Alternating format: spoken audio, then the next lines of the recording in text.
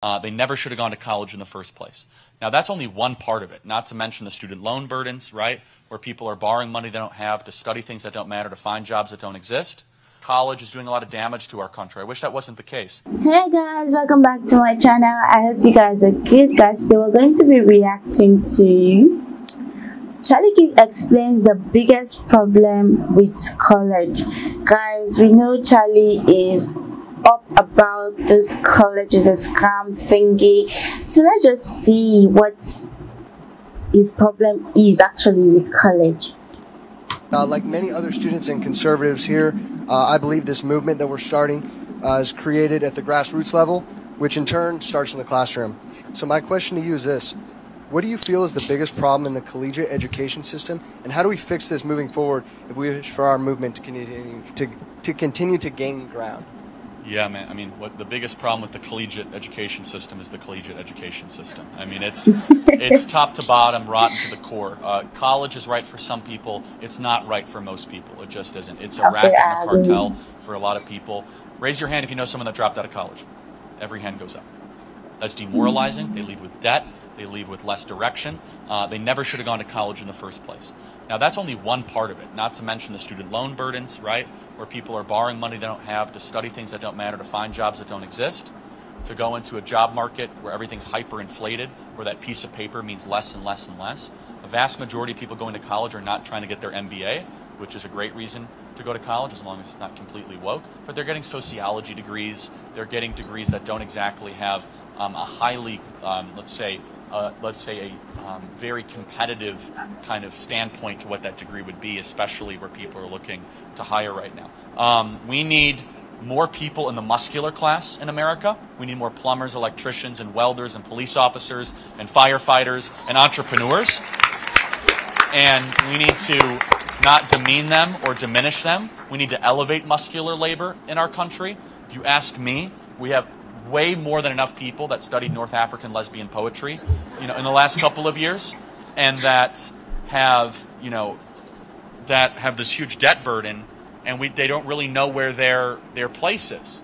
So look, top to bottom, college is doing a lot of damage to our country. I wish that wasn't the case. I don't think it has to be the case. College can be awesome. Hillsdale College is a great example of that. If every college like Hillsdale College, I'd have a completely different opinion. I've spent time at Hillsdale College. I've got to know Dr. Larry Arnn. You know what they try to do from day one? They tell you that you don't know everything, and there's something here at this college that's special, and you're going to go on a journey to discover it. They also say this they say, we're going to complete the whole human being the mind, body, and soul. We're going to read things that are ancient and beautiful and good, and you're going to really wrestle with the most important ideas and topics. That doesn't happen a lot at universities anymore. Instead, it's hey, you have your own opinion of truth. Who's to say what is good and beautiful?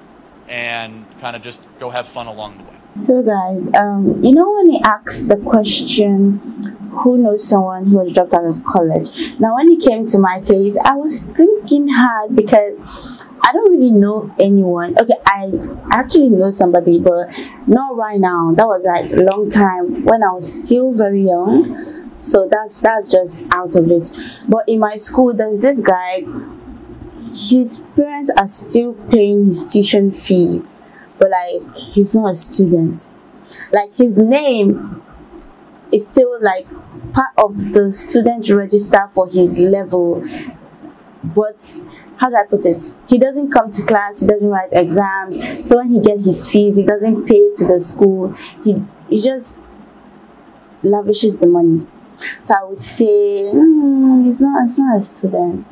But guys, either ways, I don't think college is um, a bad place. I agree that we are being ripped off uh, of our money because when you get to college, you get to offer different courses that you know would not have add any value to you or it's just not relevant with the with the degree you're trying to get. So I would say some colleges tend to rip students of their money, but at the same time, I would say college is really important. Believe me, because there's some there's some um, professions that you just can't do without going to college. Let's say, for example, medicine. You cannot become a doctor without going to get a degree. Because first you need to have a license to practice medicine. And there's so many practicals you have to you have you actually have to go and pass through before you can actually become a doctor. So that is important. Then you there are other other professions like that. Even law.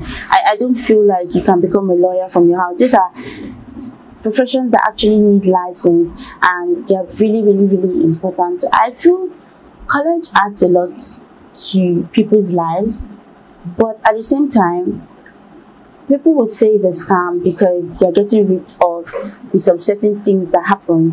But at the same time i would personally say that for me it has been a really really really nice experience because there's so many things i'm doing while I'm trying to get my degree and there's so many things that I'm being enlightened to in college and it's just I feel like I wouldn't have gotten anywhere else. So I'm grateful. I'm grateful for college.